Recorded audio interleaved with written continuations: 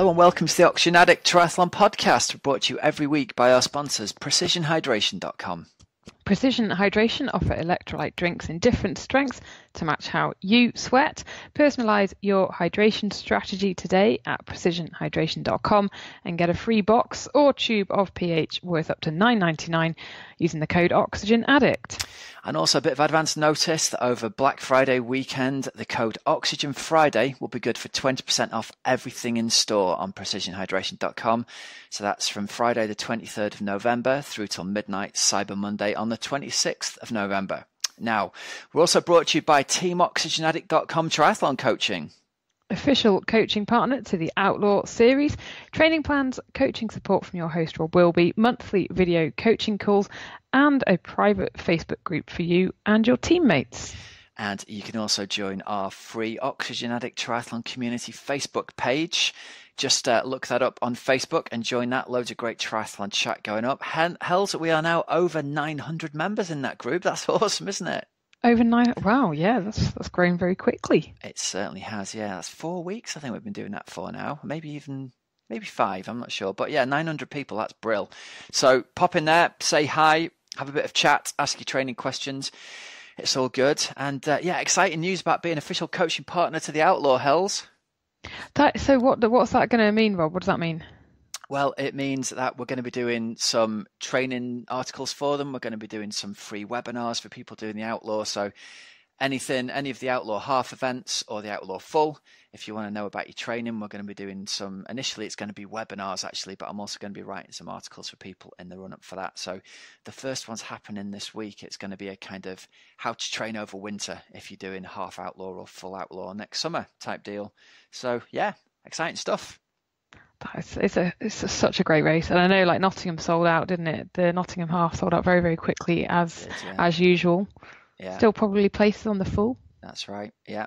So get yourself over there, and uh, if you're looking for a race, we loved it, didn't we? This this summer, despite the weather, we loved it. The summer, the the monsoon summer, the the day in Nottingham whereby it just like threw it down completely. Good yeah, we were there, didn't we? We did the um, the relay at the Outlaw full, and then a couple of years ago I did the uh, Outlaw half, and yeah, cracking race, brilliant stuff.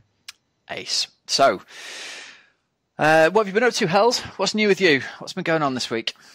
Oh well, there was no crazy wedding in the middle of it this week. Uh, I went to the Training Peaks Endurance conference summit, endurance summit, um, which was in Manchester last week. They had a couple of days. They had the Training Peaks University as well. I just went for one day, the first day, and yeah, there were a lot of endurance enthusiasts in one room. It was good, really, it?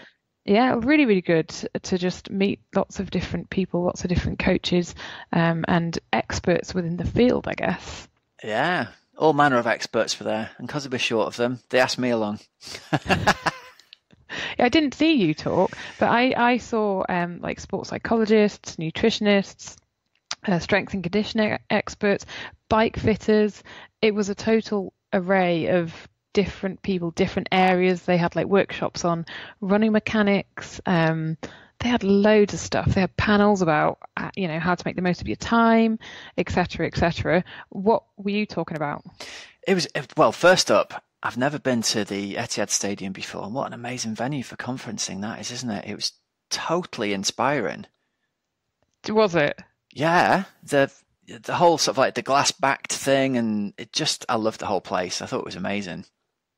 I always think it's very so. I, I have been there before for a different event, but um, the first time or my first sort of the start of my relationship with the Etihad Stadium would have been back in 2002, Rob, when of course it was the stadium for the Manchester uh, Commonwealth Games. Okay, yeah and and then they and you sort of think I, I I was standing outside the other day thinking I cannot even picture how this was during yeah. the Commonwealth Games. I, I couldn't rewind my head back to it.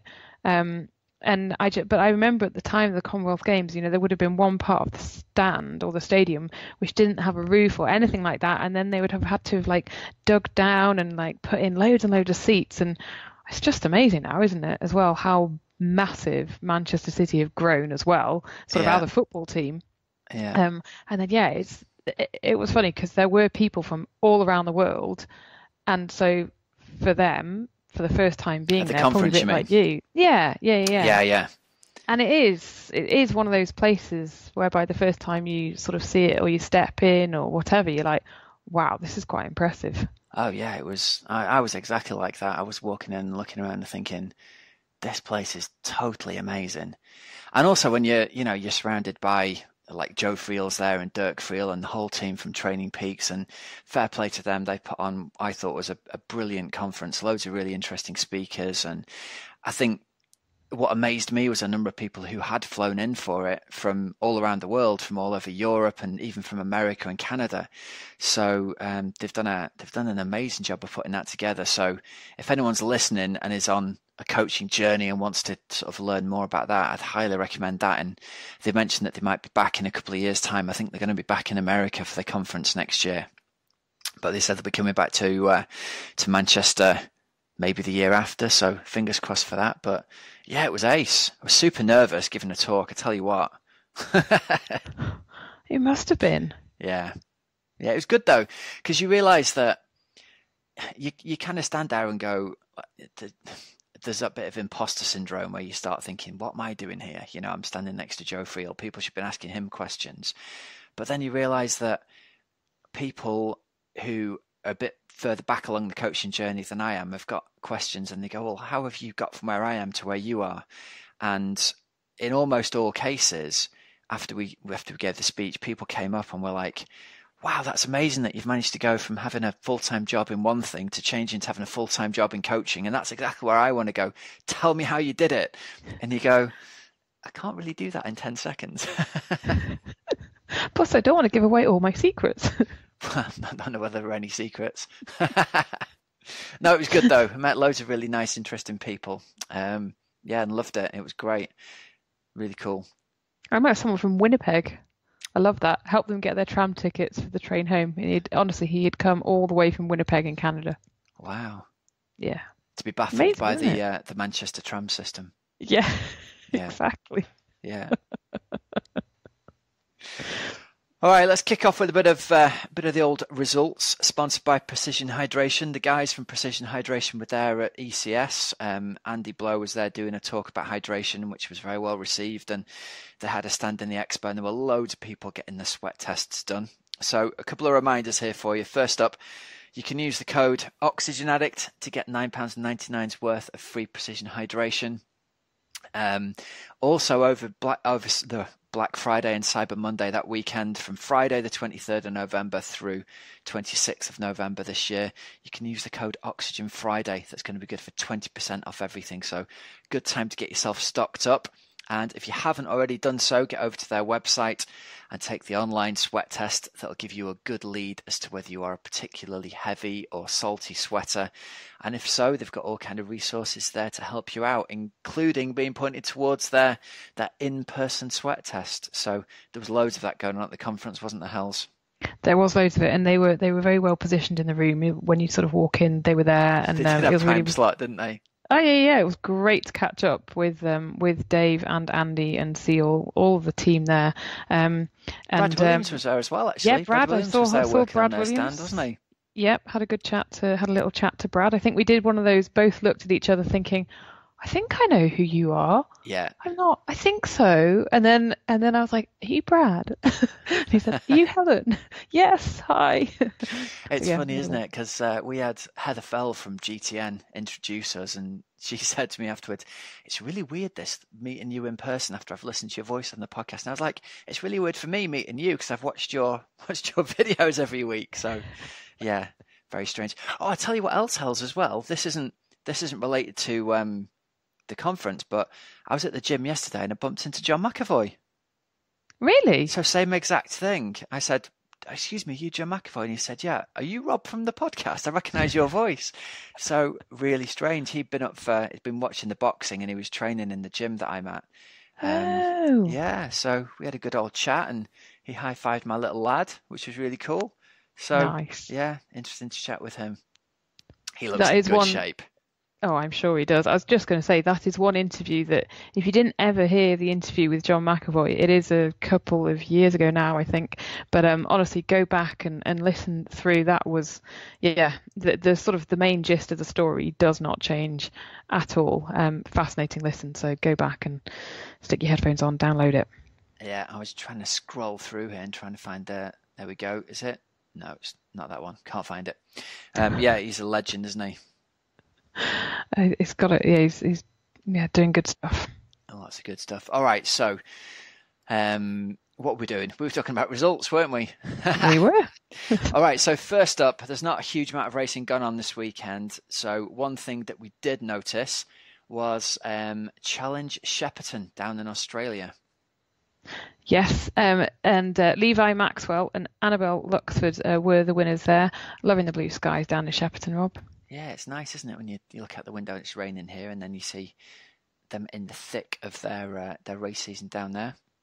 Oh, yeah, just uh, sort of going into going into summer, aren't they? Yeah. So Levi Maxwell, three forty six, ahead of Tim Van Berkel, uh, fellow Australian, and then Matt Slee and Annabelle Luxford, comfortable win there by ten minutes ahead of Grace Thek and uh, Courtney Gilfillan, third.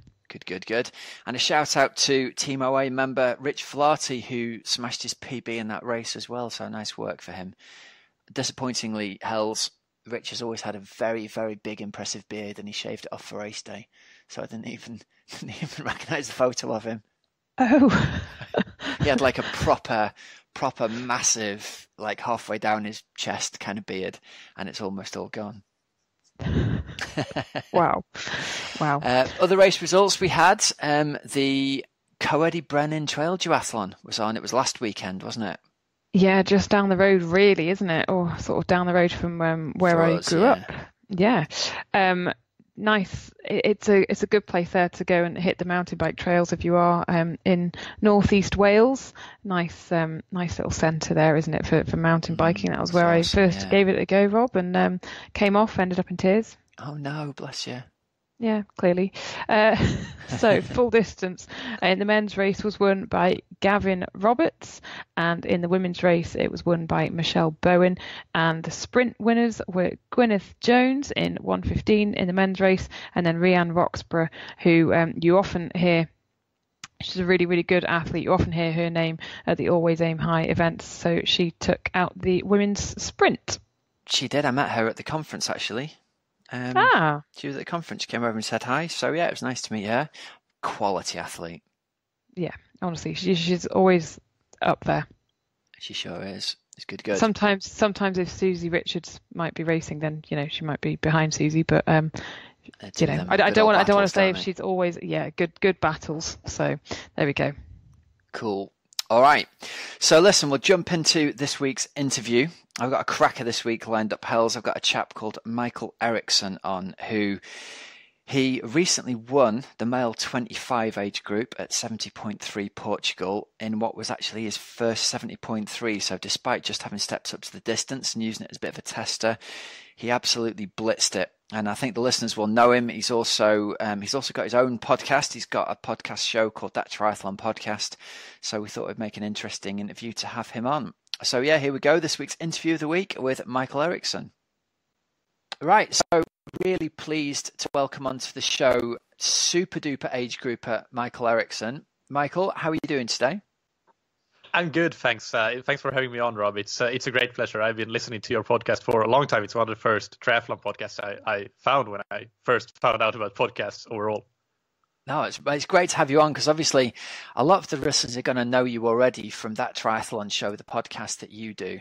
But I really wanted to get you on because I think you've got this really interesting story about becoming a top age grouper, and you know, let's hear the story of how you've gone from working full time outside of triathlon to basically optimizing your life to live the dream to try and be the best triathlete that you can be.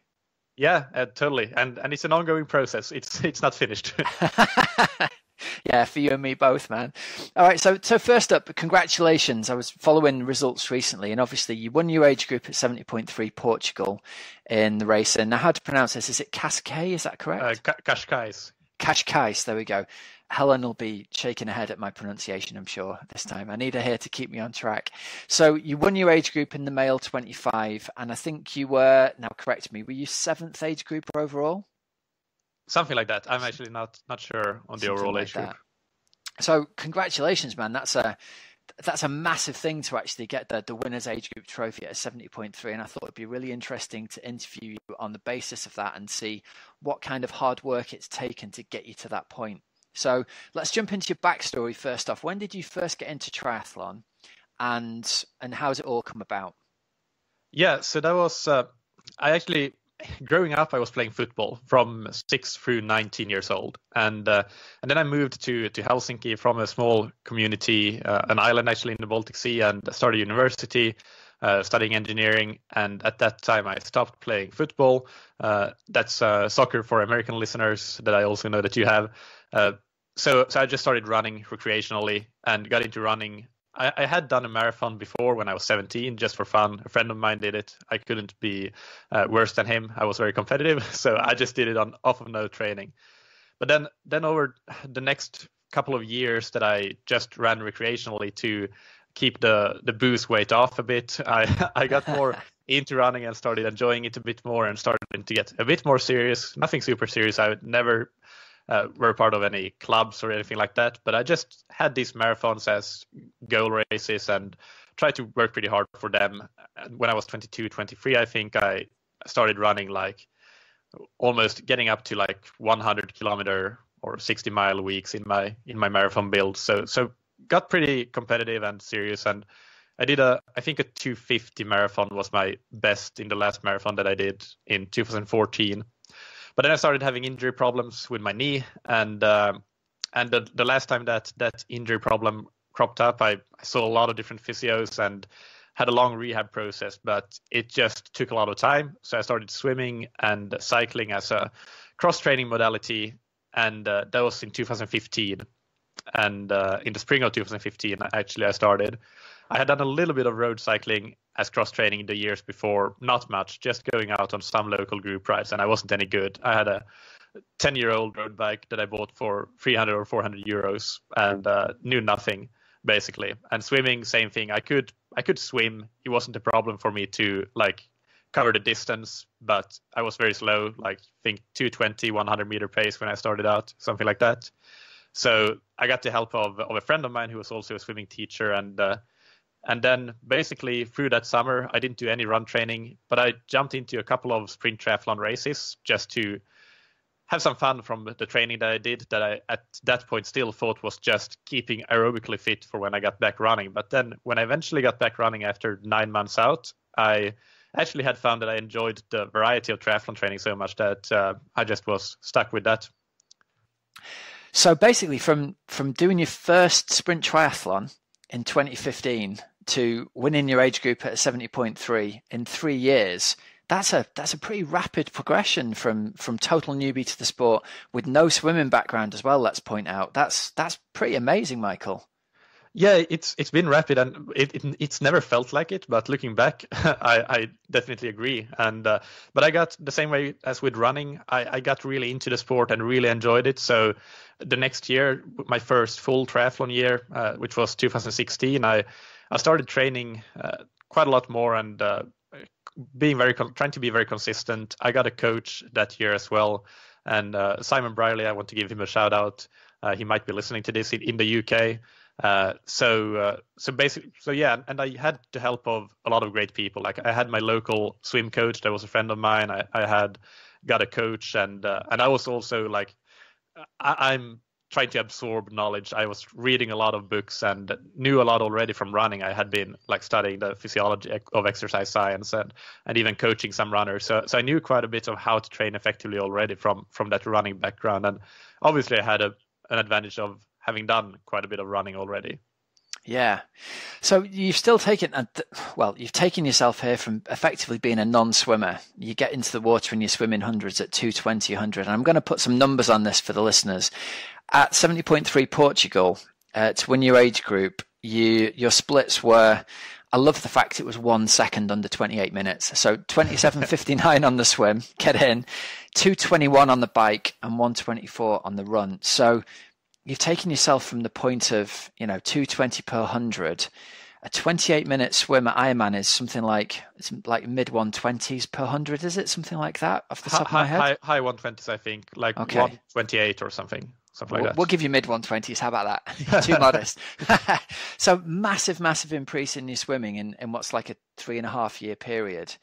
Let's talk about the training that's got you from obviously you're aerobically really fit already but the skill acquisition part of it is something you've probably had to work really hard on. What did your swim training look like in that time to go from from there to here?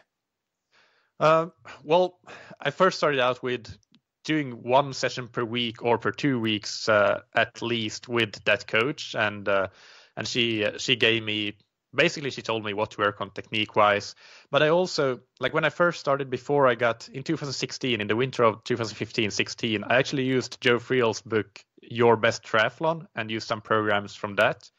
So so i used sort of his um, structured workouts as well which was it, it wasn't any long big swim workouts really but but i did a lot of hard intervals even when i was swimming I was down at around two minutes per 100 by that time from technique improvement. So I was combining from the very start. I, I would say that I have combined hard swimming with technical improvements. I've never had really a long period with just focusing on technique. I've already always done quite a bit of hard work as well on the swim and uh, being really gassed. Yeah, the runner's mindset right there, isn't it? Must work really hard. yeah, yeah. And, so how did your how did your progression work across the years then? Can you roughly remember? So let's say you were swimming two twenties in 2015. How did it how did it kind of sequentially move forwards? Yeah, so 2016. Oh, this is a very good question. I, I think I was swimming probably towards the end of summer 2016. I might have been doing like I might have been at the 145 threshold pace or CSS test pace, yeah. something like that. And uh, 2017, maybe I was down to at the end of the summer 2017, I might have been down to 135 or something. And and this year I've I've done a I haven't done a lot of CSS tests. I did one recently that was 130, but that was off the back of not a lot of swim training recently. Uh, I've also had some problems actually with my swim training, even though it's been improving this year. But oh, yeah. I, I think that when I was swimming my best, which was in May this year, I did a 1458 1000 meter time trial, and I think that my CSS would probably have been in the like 128 or something like that. Got you. Yeah. So, so you've had that nice consistent improvement across time. How many how many times a week were you swimming then to see those improvements over the past three years? Or most of this period, it's been three to four times per week, I, I would say. And uh, and this year, especially in 2018 from from january through may i was swimming a lot. Uh, i was doing especially early winter i was doing a lot of 20 25k weeks with five to six swims per week because i was injured on on the run and partially on the bike as well. Uh, but now it's back to actually three times per week. So uh, but three to four has been like a standard yeah. amount of swim. Yeah so so you've really had to put the both the work in improving your technique in but then I often think there's that kind of tipping point when you get to around 145, 100, you can kind of back off a little bit on the technique work, and then that's when the the ability to do hard work. It's like you've fixed enough stroke flaws that they're not holding you back anymore, and you can really focus on the the, the fitness technique. And I think your your sort of natural hard work mindset's probably accelerated your development by putting that time in in the pool at that point onwards. Yeah, yeah, I would agree with that. Definitely. Yeah, yeah, yeah, good. So talk about biking a little bit then. You, you said you bought a 300 euro bike back in the day, and all of a sudden you're putting out a 221 bike split, which, having compared you to the other guys around you, you weren't far off the fastest age group bike split of the day. You were only sort of five or six minutes behind the pro who the pro who won the race did a 215 on the bike. So you're an axe on the bike these days, man. So let's get into that. Let's talk about your bike training. Yeah. Uh, so well, let's think. Well, first, the first half year or so before I got my coach in the, that full season, I, I did use that Joe Friel program. I did a lot. I was living in living in Finland still at that at that time, so so I did a lot of training indoors on the indoor trainer, which I know that you are also a big proponent of, and I think that that has helped immensely to do a lot of hard work uh, on on the indoor trainer. Sort of that we actually just did an interview for for my podcast with you, and you talked about how you structure that and and I've had kind of a similar approach uh, for myself on the bike with with a lot of like time effective training indoors on the on the turbo and uh, the same thing continued really with uh, uh, with when I got my coach. We did still did, but I I also got outside and tried to learn to uh, learn the technical skills and and also how to be better positioned on the bike. But but really my focus was for a long time on just the sprint and Olympic distance. So so I was still training mostly on on a road bike. So so I wasn't really that focused on on aerodynamics, more so on on power definitely when I got, I actually didn't get a power meter until 2017, early 2017. So before that, I was training more on sort of effort level and RPE. Yeah. Uh, so getting a power meter, uh, that was that was invaluable. It, it really helps you train so much more effectively. I, I can't speak highly enough of having a power meter. Well, especially your your background is you're you're from a very scientific background, and in fact, your you know your website's title Scientific Triathlon. And you've got an MSc, and so I was going to say getting the power meter was probably a real tipping point for you because all of a sudden everything can then be quantified, analyzed. You can see what training response produces, what fitness gain. That must have been massive for you. Yeah, for for sure it, it was, and uh, I think that uh, when I was still in, in Helsinki and I got the power meter, a lot of the training that, that I was doing, uh, we actually I actually used TrainerRoad quite a bit and their programs. So so did quite a lot of sweet spot work, but also threshold and VO2 max quite like a mixture really of different yeah. intensities, but but quite a lot of intense work really. That that, yeah. that that's what it was like. Since moving to Portugal, I moved here uh, to Lisbon one year ago in October 2017.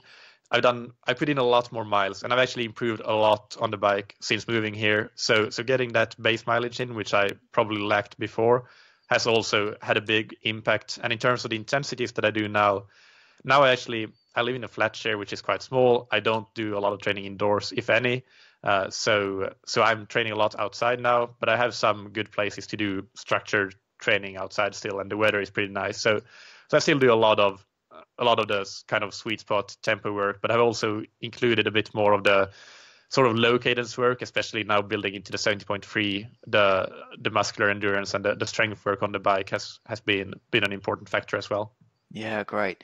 So let's talk a little bit about that because I think it's interesting for the listeners to hear somebody having gone from, you know, I'm stuck indoors in Helsinki in the winter and I'm on the turbo trainer you've just said you moved to Lisbon in Portugal where the weather's beautiful, and I'm not jealous at all, mate. I'm not jealous at all of you having moved to the most beautiful training paradise in the world. it, it, it is raining now. It, it's very grey and wet and cold. well, that makes me feel a little bit better.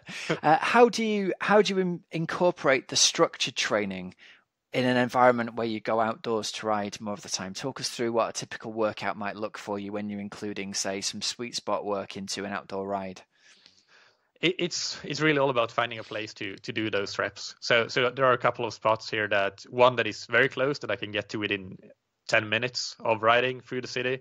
It's sort of like a a, a road next to the airport that is uh, a straight like sort of uh, uphill, small uphill, and then a downhill, but still not steep enough that you can't put in the effort on the downhill. And and it's maybe if I go hard out and back, it's like 10 minutes of riding yeah. Maybe something like that so i can do i can just go up and down that road and through the roundabouts at the ends and, and do the work.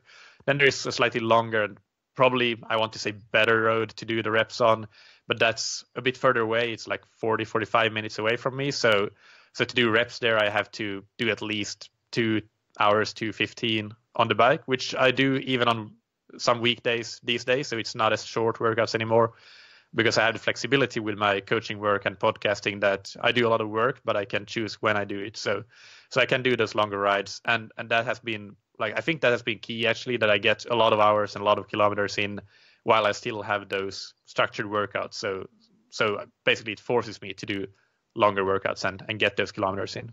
Yeah, fantastic stuff. Well, let's also talk now a little bit about the fact you alluded to having moved from Helsinki to, to Portugal. Was that entirely based around looking for a better environment to train? Um, no, not entirely. It was I decided because I, as I mentioned, I was already into running coaching when I was running and and doing that, and then pretty soon when I started triathlon and I started just learning everything I could learn about the sport and uh, I started blogging myself, but then I I sort of stopped blogging, but more more of started with the the podcast pretty soon, and then then I started uh, coaching as well. So uh, so basically, I found that I really loved coaching and I really loved podcasting and everything I was doing, but I didn't have time to be an engineer and uh, be a triathlon coach and be an athlete and uh, have uh, my social environment, uh, etc. In, in Helsinki. Something had to give, so I decided to just that it was my engineering work that had to give, and and then I was free to do the work from wherever I liked. So yes, training environment was a big aspect of where I wanted to move. So I had a few options like Portugal, Spain, Italy, but then it was the language. People in Portugal are generally quite okay at English compared to to Spain, for example. So so that was one aspect. Also, there's a big community actually of so-called digital nomads here that work with anything and everything really, but work from their laptops, location independent. So, so there was this community of like-minded people people here that I I could join outside of the triathlon community that I have. So so that was another big draw. Nice. And tell us a little bit about your podcast then. It's been going for about 18 months now, is that correct? Yeah, yeah. Something like that. So so it's uh, it's a mixture of interviews and solo episodes and uh, basically with every episode like the one we just did with you, I want to give the listener something useful information about training and uh, something applicable that they can do. Some of them are more technical, some are less technical, like and uh, more of sort of like just yeah actionable actionable advice sometimes i go deep and review some sort of scientific paper or a heap of them at one time and try to distill that into some sort of uh, conclusion and uh, talk about what that might mean for the training in practice. Like for example i did a, recently a couple of episodes on interval training and what sort of interval training seems to be more effective for improving vo2 max versus others so that we don't just choose interval durations and recoveries and modalities based on you know random things and what what is typically done but actually based on what people have measured and researched and, and looked into from a scientific perspective. But then i'm the first to say that uh, this scientific basis is only one part of the input to your decision making in whether you're coaching yourself or you are a coach coaching other athletes. I think the biggest one is still the the feedback from the athlete and what what you see how they respond to training as a coach and and your own experience as a coach what you know is working. For example we've been talking a lot about sweet spot training i don't know that there's any particular research about sweet spot training or that sort of intensity but we still know that it seems to be working really really well so i use that a lot and uh, and i see that it's working so i don't care that there's not a lot of research about it and whereas there is research about vo2 max intervals I still use both of them. I'm not going to give up on sweet spot training just because there isn't a scientific backing for it because I see that it works. And give us an example of what would be what would be one of your favorite bike workouts in the run up to 70.3 Portugal. Let's try and get some of the the secret sauce that got you to a 221 bike split. Yeah, so this is uh, one that I got from my current coach, uh, André Campos, uh, who's a Portuguese coach uh, here in uh, my team, uh, Sporting and so it's basically it's a two-hour workout usually, and it has a 40-minute main set in it, where the first four minutes are at zone-free intensity with a cadence of 55 to 65 RPM. Then we go up to eight minutes, still at zone-free intensity. Uh, so there's no recovery, uh, still zone-free, but the cadence moves up by five, so 60 to 70. Then we move into low zone four uh, for 12 minutes, and that uh, would be still 5 RPM higher. So now we're at 65 to 75 RPM. And then finally 16 minutes at higher zone 4. Uh, so that would be right around threshold, uh, and that would be at 75 to, to 85 RPM. Wow, killer. So so you've tired your, your muscular force system out with pushing big gear at the start of it, and then you have to recruit more on your sort of aerobic system, I guess, more heart yeah. muscles. That sounds like a hell session. well, no yeah, it, it, sounds it, awful. 16 minutes at threshold at the end of that. It, it, can be, and to be honest, like doing it on the trainer, I think it would be even worse, definitely. But doing it on the roads, I've been doing, you do have these short mini breaks when I go through roundabouts and I have to coast a little bit to wait for traffic, that sort of thing. So, so for me, it's not as bad as it sounds like, but doing it on a trainer, I think it would be really, really difficult. But, but yeah, it's, it's, a, it's a very useful one, and it can be as hard as you make it. Really, doing that. Uh, I set my 20 minute uh, power record for the year. I actually set in that last 20 minutes of that 40 minute segment. When I did this uh, this workout, actually completely uphill or almost completely uphill once. So so that was pretty cool, and I had no idea I was doing that, but but I was doing a 320 watt uh, 20 minute segment as part of uh, as the last 20 minutes of the segment when I was already very tired. So I was happy with that. Nice. It's it's a beautiful time of year when you're at peak fitness and those numbers seem to come so easily, isn't it? Yeah, yeah, yeah. Just doesn't happen very often. Yeah, yeah.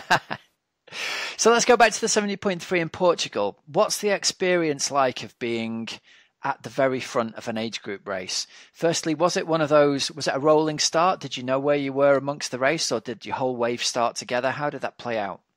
it was a rolling start. So, and I had had some swim problems, as I mentioned, like sort of almost like overtraining or non-functional overreaching. Uh, yeah. Some issues that I'm actually still still working on. I went to take some blood tests this morning, so okay. so so I've had some problems this year as well. Even though my fitness was and is at an all-time high for sure, but so I was very conservative because the swim training I had been doing was very limited because the swim was where I suffered the most in training really. So so I started probably a few minutes after most of the really competitive guys in my age group. Uh, but uh, then basically getting out on the bike, I pretty quickly uh, did. I had to do quite a lot of surging at the first 15 kilometers or so of the race, but then then I find a good a good rhythm and I saw the people around me. It was moving positions quite a bit, but I saw that at least a couple of them, if not three of them, were also in the same age group. So, so I had part of the front end of the ra- race right around me at that point. Yeah. And uh, and then on the run, I did I didn't know those guys, but I didn't I didn't know if anybody else was in front of me. And, and it should be said, it was my first 7.3. I had as a goal that to qualify for next year's World Championships, but not in this race. This was just to get experience, see what the distance was like, and then next spring I would use as my attempt to qualify for for Worlds and start to move into the the longer distance from the sprint and Olympic distance. So so I was just trying to get the most out of myself with no performance expectations really, which was a good place to be mentally, just enjoying the day. Yeah.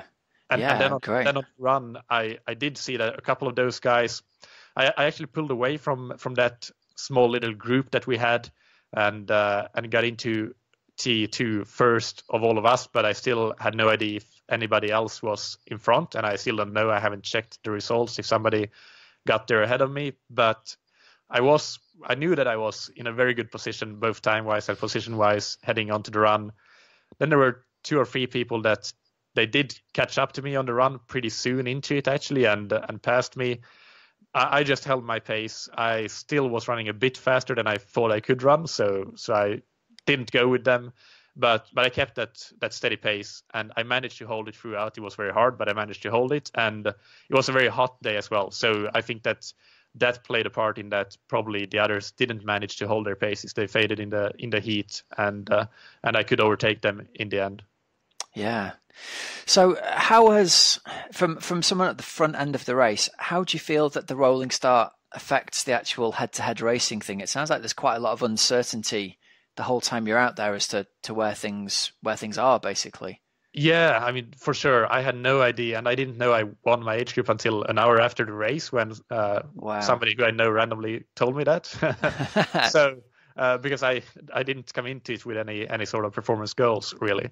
So so yes, I mean it was very difficult, and that's something that going into future 70.3 races with rolling starts, I need to uh, like especially going into 70.3 worlds where I want to have set some performance goals. I don't know what they will be yet, but yeah. I, I will have to think about a way if there is a rolling start. I don't yet know really how can can you get sort of information about where you are in the race because it, it is difficult and it it sort of yeah, I, I, was racing myself really. I, I wasn't racing. I, I, was using other people for energy and trying to overtake people and get the best possible overall placement in the in the field. But but I couldn't really. I didn't really have any idea about the age group situation. Yeah. One thing I wanted to ask you was, what's the driving force behind you doing triathlon? It, it's a good question. Like I, I, should be able to answer it. I, I just know that I want to see how how good I can become because I know well we talked about starting out swimming 220 100s uh, cycling you know I was way behind in terms of uh, being able to keep up with the old man strength guys, the 60 year olds in that group ride when I first started riding as cross training, running when I started running my first marathon, I did a 356. So I'm not like by nature a talented endurance athlete or anything. I, I want to see like how far hard work and smart, smart and hard work can get you. Yeah, yeah, great.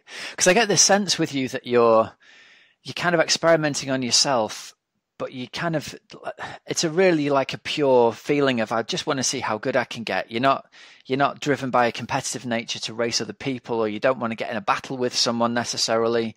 You're going to use the people around you to help you along, but it seems like you're driven by this ideal of seeing how good you can get yourself to be. Yeah, but but at this point, and it has been for a long time, really. But but at this point, I do also definitely have the goal of of trying to see if I can, for example, medal at some point. Not next year. I know that that will be way too soon for me, but I've been in the sport for just a few years still. So so there's plenty of years to come and keep improving. So so I do want to at some point probably fight for the medals at the age group level at the world championships in both 7.3 and, and hopefully Ironman as well. So so I do I do use that competitive nature as well at this point. But but it is it is about improving myself to see how, how where my potential is in relation to others in uh, others in the same situation, not professional athletes, but age groupers. Well, don't put limits on it, man. If you've won your age group in your first 70.3, who knows? Maybe you will be challenging for the medals at Nice next uh, next September. It will, well, it could be like no. I'm not going to put any limits. That's definitely that's that's that's a, a, good piece of advice. I'm not going to do that. And and my last question is going to be: it, I always come back to this because it's where my passion is. The thought of doing Ironman. Where does that sit with you right now? I know, I know that that's going to be my strongest distance because I'm I'm not a fast interesting. Yeah, yeah. I, am not a fast athlete but but I I do think that I have uh, I have very good mental resilience both for the training and the racing which I think is needed for the Ironman uh, distance. And and I know that I have good endurance. When I was running I had really good marathon times compared to my 5k times for example. So so so I know that that that's going to be something that can suit me. And also I think that the uh, the analytical side of things, getting the most out of your training, it's going to be even more valuable as you as you get into the longer distance and really making sure that you tick all the boxes and, and get the most out of your training and also things like recovery, nutrition, etc. Yeah, yeah, cool. All right, listen, and just finally tell us. We obviously touched on your your website and your podcast, but just tell us a little bit about how people can get in touch with you and find out more about you if they like what they've heard today, Mikael. Yeah, so so the best way I think is is the podcast for sure. Like that triathlon show on any of your podcast apps, and you can also find it on the website, which which is scientifictriathlon.com. So and the, I have the podcast there, and I I have some some other information. I have information about my coaching and uh, that sort of thing. So so check it out on on those two platforms, the website and the podcast. Awesome stuff. So, listen, thank you very much for taking the time to come and join us. We we wish you all the best, and I'll be looking at the results in Nice next summer with uh, with interest to see. I think you're going to be a bit higher up those results than you think you're going to be at the moment. So, it remains to be seen. let's, let's hope so. Let's hope so. Now I feel the pressure of having all your listeners as well. yeah, sorry about that. I didn't mean to heap pressure on you, but there you go. There it exists now. all right, Mikael. Listen, thank you very much for your time. We'll speak to you again soon. Thanks, Robbie. It was brilliant to to be on and talk. Love hearing these stories of people who buckle down, work really hard, and then and then give great examples of you know I was swimming two twenty per hundred, and now he's doing a sub twenty eight minute swim. So it's it's inspirational for people, I think, to hear these stories of people who've made very quick advancements in the sport to show what can be done if you apply yourself. I like his uh, 221 bike split, Rob. I know it's you know, when Blimey. when the winning pro only goes two fifteen, and it was on a road bike as well. He told me afterwards, so there's a bit of free speed to be had there as well. I think. Wow, that is yeah. nuts. You could go and have a go and um, see Phil Burt, who um who who was talking at the Training Peaks conference as well.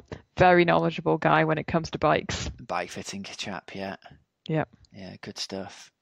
All right, jump in. Coach's Couch this week. Uh, this week, we're going to be talking about the intelligent use of intensity on the bike in winter training. Yeah, right. So you're often going on about um, getting triathletes to do hard intervals on the bike during winter. So why do you go with that method rather than sort of, I guess, the more traditional long, slow base miles. Okay, so I know it's a little bit of, sort of contention here in the in the realms of going against the book. But anyone who's tried to do lots of long, slow miles over the winter can know it's it's going to be a real challenge with things like heading out to train in the dark, getting soaked and freezing partway through your long ride. And I think the big challenge is how many athletes miss their winter rides because the weather's just too bad. So this whole focus came around because it's an approach to try and make the best use of the time that athletes have got most athletes don't have loads of time to train. They can't actually make a lot of use of the time. They do have to train during the winter because of the weather and things like that. So I thought, right, let's try and use the winter to to build bike power and see if that translates to outdoor fitness. And the great news is it really does. It eliminates the external factors like the weather, the temperature, the darkness.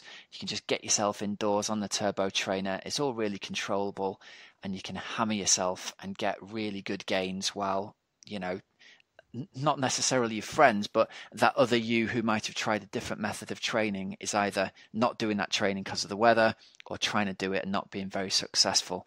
So, what we're going to have you do is we're going to prioritize sessions indoors that take no more than an hour. We're going to include 30 to 40 minutes of really high quality, high intensity work on the bike. If you've got a power meter, it's going to be working at functional threshold. If you haven't, that's okay. You can use a heart rate monitor, or you can even actually just use a speedo that measures the speed of your back wheel, and that's going to allow you to make sure the power is transferable from session to session. Now, the good news is it's very effective. The slightly not so good news is it is going to be extremely hard and extremely taxing. So you're going to have to be ready to grit your teeth and get through it. But you'll find that your aerobic fitness will skyrocket over the winter and you'll be amazed that come springtime, what will happen is you'll go out and ride with your buddies who haven't trained like this and they won't be able to stay with you anymore. You're going to be going two or three kilometers an hour faster come the springtime while everyone else has either stagnated or gone backwards during the winter. So what we've traditionally seen within the athletes we coach is a, a power jump of sort of six to eight percent in an eight week block, which may not sound massive, but if you can do two of those eight week blocks over winter, that's a significant jump in performance in terms of how fast you'll be riding on the road come the springtime. And there we go. That, That's it. There we go. That, wow. Well, it definitely um, it's definitely worked for me previously, and um, especially you've got to be prepared to do it, haven't you? That's the thing. You've got to be yeah. Like athletes like you it, who are prepared to put the work in get really good results. So that's the caveat. I think if you have it in an actual plan and it sort of appears, um, like we've spoken a lot about this before, about having, you know, a, an actual structured session, then then totally. you can do it. Yeah. Whereas if you don't, then it makes it really, really difficult. And it's very easy to just sort of sit on a turbo, isn't it, and and move the legs, but not yeah. really get a whole load out of it. Well, there's two things there as well. I think that. Like first up, if you do just try and get on the turbo and you've got no structure to it, you're going to get bored really quickly and you'll get off. But if you have got something written down, even if it's just you as a person having decided what you're going to do before you get off, then the time goes really quickly. You get your tunes on and you decide you're going to do, you know, four reps of five minutes or whatever. Once you've set your brain to do that, you've got a goal to reach before you finish. Whereas I think if you just try and ride, once your bum starts to get sore, you think, "Yeah, I've had You're enough off. of this. Thank you. Yeah, that'll do." I'm going inside. I'll, I'll, just do half an hour, and we've all done it. I know I'm guilty of this. I just go, "Oh, actually, I just do half an hour today rather than an hour," and you get off. Whereas if that session's in front of you, or even better these days, if it's in Zwift and you've got little targets coming towards you on the screen, you have to get it done to get your little little star, don't you? Yeah, yeah. No, so I, I think it's. I think Rob, if we lived in you know, if if you lived in like a warm climate year round or whatever, then it would be easier, wouldn't it, to get those base miles in if if you Absolutely. wanted to go down that approach. But um, in the UK, in you know, in the northern hemisphere, uh, we we don't. It's pretty horrible outside on you know come the thick of winter, and it can be quite miserable. So um, yeah, at least the pain's over more quickly. Yeah, exactly. And then it has this added benefit that you get into spring when the weather starts to get nicer. You're much fitter than you were when the winter started. And as you transition to riding outdoors, when the nights are, or when the days are longer and there is more daylight hours available, you can then go out and do those base miles in inverted commas, those longer, more steady aerobic miles. Then closer to your goal 70.3 or Ironman. It's much more specific training to do that closer to your goal race. And you're going to be covering those miles faster because you're fitter. So it's a no brainer, except for the fact, you know, your buddies will all be trying to grit their teeth to hang on to you. So yeah. that's the only downside the feeling of like dropping all your mates every time the road goes uphill. Oh, yeah. But then there's, there's no downside. That's not really a downside, is it? Everyone loves no. handing out the hurt bucket. Yeah, exactly. All right, so we'll jump over and have a look at some of the news we've seen from around the world. Um, the first thing that I noticed is Yorkshireman is going to happen next year. Yeah, so it's going to be a full iron distance race. Um, and it's obviously going to be up in Yorkshire, so Newby Hall. Now, I've done a half distance at Newby Hall, and what Great I venue, can tell you, it? it's a really, really good venue. I remember the river being, I remember the river being quite dark, but it was, it was quite nice. I'm sure you swam a little bit downstream and then a tiny bit upstream or something like that. Um, and then the bike was the bit that they took us was. Um, I remember it being pretty flat indeed. Um, so yeah, it says mi- mildly undulating. Mildly undulating. Yeah. Bear in mind though, this is Yorkshire, so that might mean you go up the north face of the Eiger. If a Yorkshireman's Yeah. written, it's mildly undulating. There's Exactly. There's a good few climbs on that route from what I can see. I don't think, Yeah, I the- don't think the it's going to be flat. No, I think the the bit that would have been um, flat is probably um, for for the race I did up there is probably the bit of the course profile that you know is the flat bit before the hills. Yeah, got you. Yeah, we didn't go out into the dales. Uh, the run though was um, I do remember that being very much pancake flat, um, and Oh, it does say bonus, it? yeah, it's held in the grounds of Newby Hall, which is really, really nice, and in the local village as well. So, um, yeah, good surfaces, four laps, and each time you go through the event uh, village. And Rob, it's run by a company called Freebird Events. Now, I have done, they're the ones behind, um, I want to say Sundowner. Yeah, I think you're right. Yeah. Yeah. So, um, and that was really, again, really, really good. Yeah, it's good. I mean, it's another. I think that makes. Oh, what did I see earlier on? There's like seven iron distance races in the UK next year now, which is quite mind blowing, isn't it? When you think back to when I kicked off and there was only there was only one iron distance race in the UK, and that wasn't even a branded one. So the fact there's now seven to choose from, and I think this course looks great. I think there's going to be a good mix of, you know, faster, flatter roads around the area, but also some hills to break it up. I think it's it's going to be a nice mix. That's it. Yep. So They're check that out as then. well. They're doing half on the same day, are they? I hadn't seen that. Yeah. Oh, yeah, cool. on the on their website. Um, so yeah, both races Sunday the 23rd of June, and uh, the Sundowner one, Rob, which they run, is the 31st of August. If Nice. you're interested in that. So check that out over at Freebird Events. And then another event that I've seen, um, the organizer Darren sent us an email about this a couple of weeks ago. Do you remember us talking about Ultraman? We had Ultraman world champion Rob Gray on. Yes, yes. Now, distance-wise, I can't remember what what are the distances. Oh, it's well. First up, it's a three-day event, right? So it starts with a 10k swim on the first day. Yeah. You know, so just a 10k swim. Um, in fact, before we before we say this, what the distances are, we should say there's going to be one in the UK next year. This is what we're going to be talking about. UM UK. I don't think it's an officially branded Ultraman. Looking at the website, it says Ultraman distance. So altogether, held, it's 515 kilometers of racing over the over the three days. So day one, 10k swim. Day two, oh sorry, sorry, You day missed, one yeah, you missed a key thing there. followed by 90 miles on the bike, as you do. Yeah. Day two is 172 miles on the bike, and day three is a 52.4 mile double marathon. And it's all based around Betws-y-Coed in North Wales. So ain't going to be flat. Some decent terrain for you to run and ride around there. And the swim is in uh, Bala, isn't it? Yeah, Bala Lake. Oof. You know what, Rob? I did I did see that, and I thought, as in, I, I just saw it um, when you when we sort of looked at the link. Don't and I was it. like, Don't oh say it. yeah, that. Do you fancy it? No, I, what, no, no, no, no. I'm I'm not Oh, going to do it. But I did think. I don't know. I sort of thought oh, that that sounds doable, but then then the uh, 52 mile double marathon run on the third Mm. day, I think I thought, no, really, like like steady a- on. yeah, yeah, that bit was a steady on moment. Woof. Yeah, so there's That's a a few long other way, different events it? going on there as well over the weekend. So check it out. The uh, the website is racingquest.co.uk. So if you fancy a bit of Ultraman action, um, Ultraman distance action, I should say, before we get a lawyer's phone call, um, check that out over at racingquest.co.uk. And the last bit of news I've seen, Hells, uh, this is just mind blowing.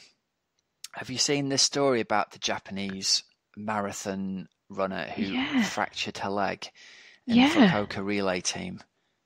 Yeah, I did see this. Um, Rei Iida, so uh, yeah, 19 years old, 200 yards left to go of her race, and um, she basically crawled it She's because she didn't want to let her yeah. teammate down. It's a two and a half mile relay race, isn't it, for them to Mm. to do a full marathon distance. With 200 yards to go, she tripped, fell. Turns out afterwards, when they looked at her, she'd broken a leg. So she crawls on her hands and knees for 200 yards to get to the finish line. Rei, we salute you, you legend Yeah. of endurance. Oh, I don't think I don't think I'd be doing that. But um, it, did- it did remind me of the uh, crawling across the finish line moments at Ironman Hawaii. Yeah, it's just amazing, isn't it? Yeah, how far you'd go. You don't want to let your teammates down. It's like Rich, wasn't it, in the relay that we did at Outlaw? Yeah, Carried on, didn't he? Got back on his bike after crashing, yeah, after bless his him. car crash. Bless him. Oops. Yeah. Never mind. All right, well, that's just about everything from this week's show. We can wrap that up here. Thanks very much for listening, everybody. Um, you've been listening to the Oxygen Addict Triathlon podcast.